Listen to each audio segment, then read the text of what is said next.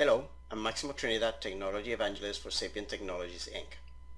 Welcome to this instructional video. Following the recent two-part series blog post on working with remote system, this video will be covering part two of that series, PowerShell remoting.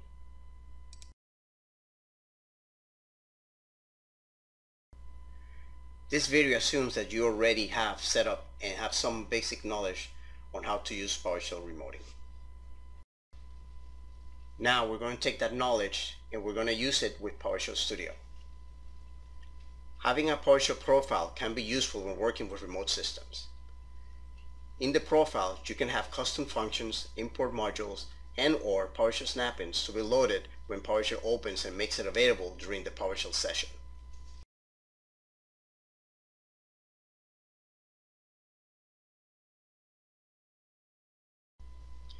So on the server, I'm going to set up a PowerShell profile to be used by all users and all hosts.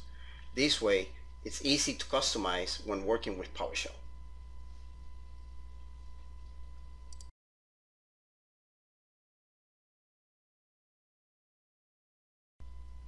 For this, I'm going to use the PowerShell Studio remote console option to create a PowerShell profile.ps1 file on my user home directory using the following one-liner.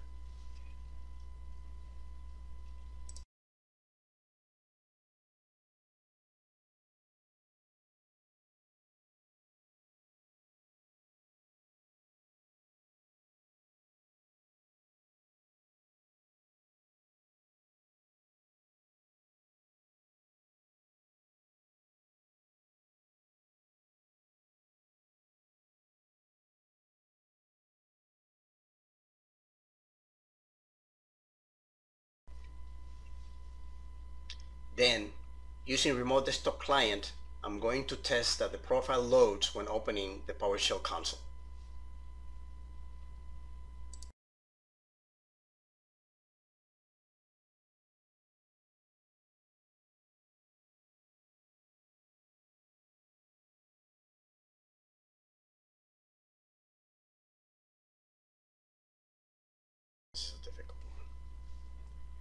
Next step is optional, but nice to have it configured for PowerShell Remote Session. This will load the PowerShell profile I just created when using PowerShell Remoting.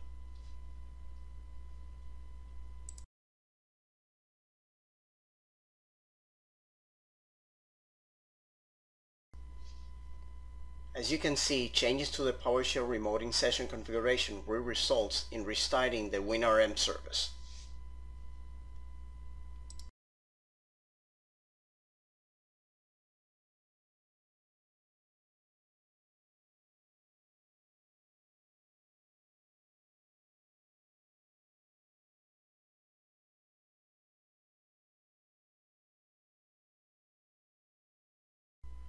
Now, to make sure the configured startup profile loads when remoting to a system, I need to connect selecting PowerShell Studio, PowerShell 64-bit or 32-bit console, and not the remote console option, then use the following one-liner.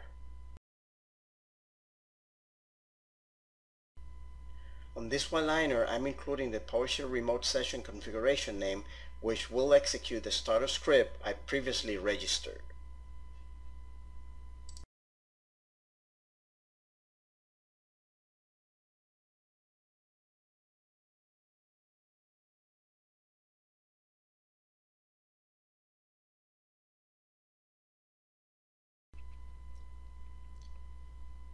Please notice you can only use the startup script when opening a PowerShell console.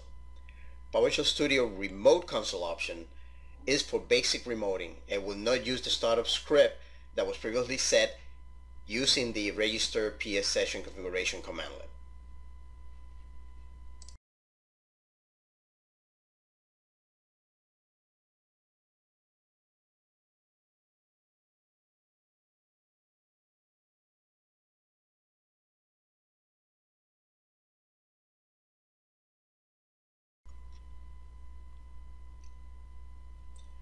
Now, if there's a need to work on a specific remote system, I can add the Enter PS Session one-liner to the PowerShell Studio console list in the following way.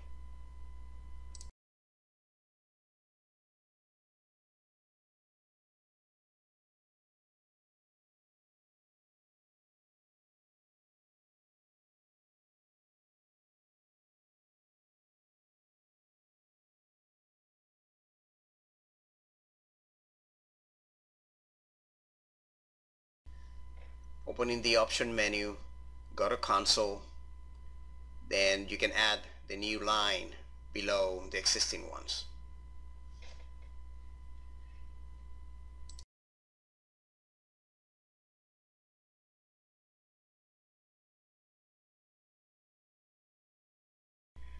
Just make sure after adding the new console, PowerShell Studio need to be restarted in order to make the change permanent.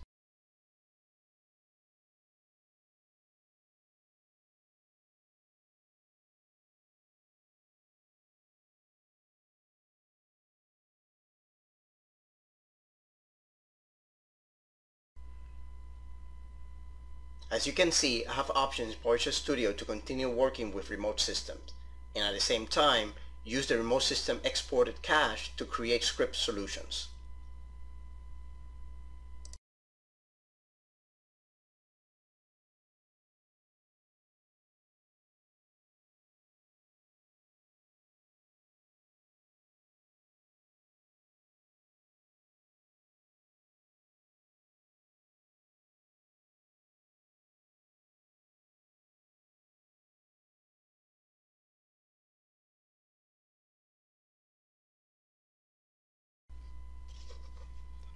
Finally, my development environment is ready to work using my exported cache modules and staying connected with my remote system while creating my scripts.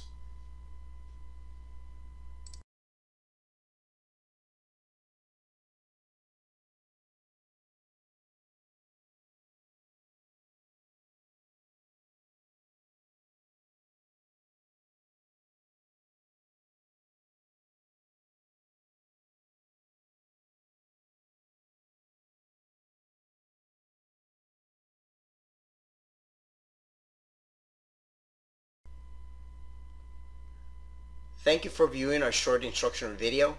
For more information, don't forget to visit our SAPIEN Technologies site at sapien.com. Thank you very much. For more information, feel free to go online and visit our SAPIEN Technologies products, information center, and blog pages. Thank you very much.